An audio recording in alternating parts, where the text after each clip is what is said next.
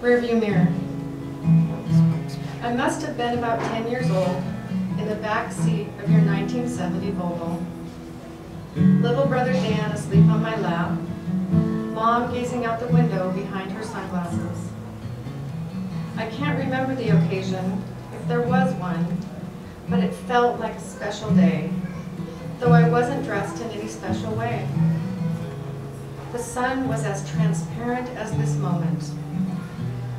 Warm breeze caught your window frame and rushed past me, and then you began to whistle. I looked into your rearview mirror, your eyes framed in it like a photograph, slanting slightly so I knew you were smiling, and you winked at me, just me.